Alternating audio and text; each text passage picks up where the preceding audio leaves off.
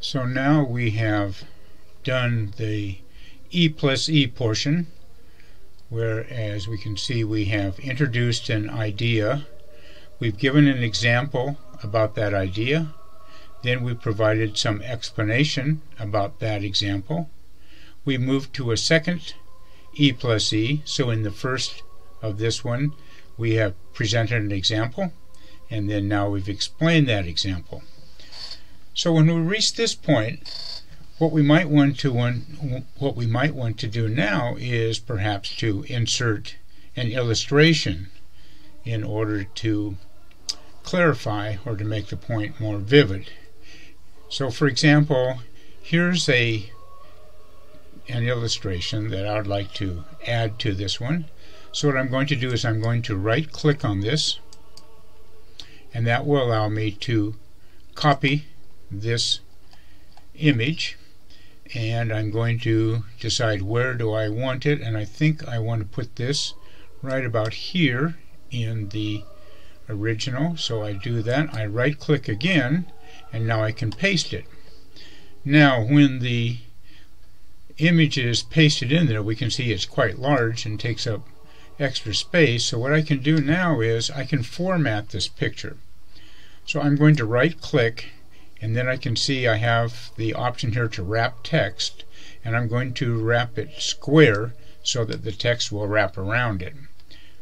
Once I've done that, now what I can do is by left click and then hold down on the corner I can take this image and I can change the shape, the size, and then I can move it up and put it in an appropriate position and it's small enough so that it doesn't overwhelm everything there on the page. Now, as we know from the discussion and activity that we did on the illustrations, just putting an illustration in there by itself doesn't really help the readers to understand what's actually going on, in which case we need to provide some explanation to help the readers to figure out what's happening here. And to do that, once again, I'm going to right click on the image and there's another option here to insert caption. So I'm going to take that option and then I have a text box here where I can identify what the figure is. Now for this there's very limited options. The drop down here allows me to do an equation, a figure, or a table. But we can fix that later. Right now I'm just going to uh, do this as figure 1 and I'm going to call it the absorption I'm going to call it the absorption rate and I'm going to say OK. What's happened now is I have this here at the bottom you can see I misspelled absorption so we'll spell it right. So here I have figure 1 the absorption rate here at the bottom of this but now that I've done this I can edit this because now I don't want to call this figure 1 I'm going to call this image 1 and I can go ahead and I can change that and and provide the and put it in the phrasing uh, that I want according to the label that I want.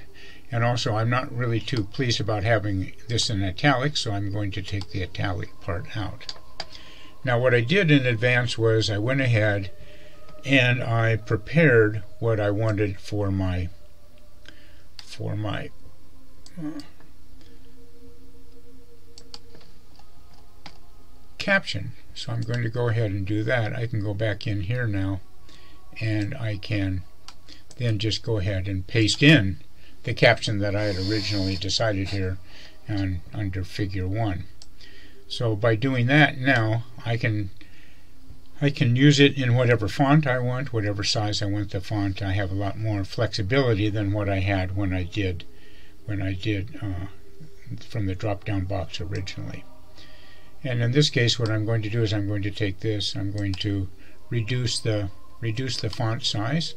I'm also going to go ahead and I'm going to change the color so that it's it can be distinguished from the body of the of the text that I have in the in the paper itself, which I'm going to change all that to just regular, regular black for now.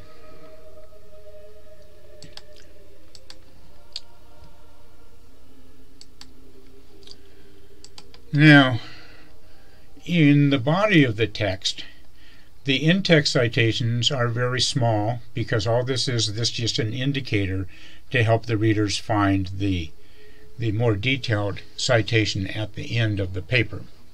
However, for the illustrations, it's quite different. For the illustrations, we need to have a more detailed and elaborate citation, which I've gone ahead and I've prepared that in advance as well. So I'm going to copy that that I've already done.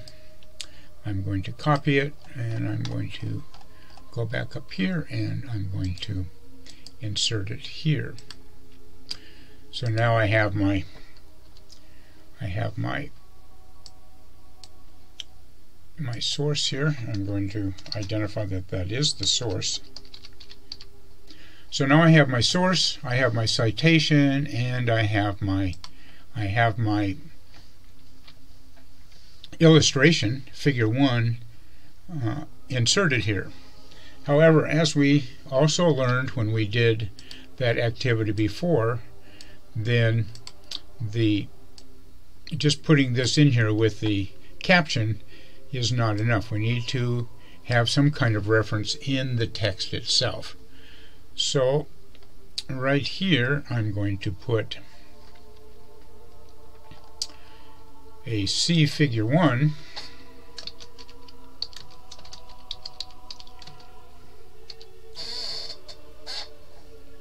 which shows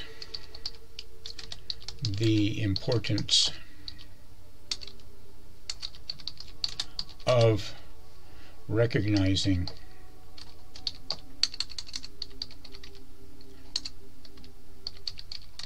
the absorption rates.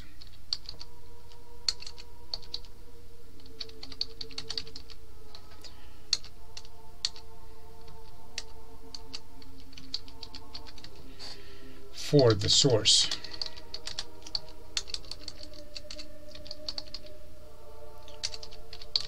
Of calcium.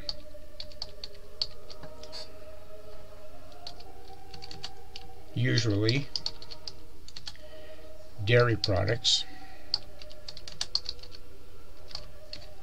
are regarded as the best source.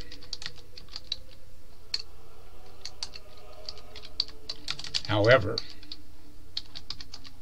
green leafy vegetables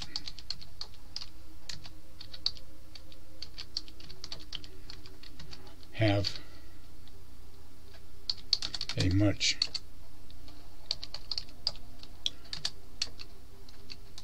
higher rate. And I need to cite that. And so since it didn't have a specific author, it was just an article, I cite it with the title of the article because that's how it will be listed. That's how it will be listed in the work cited at the end of the paper.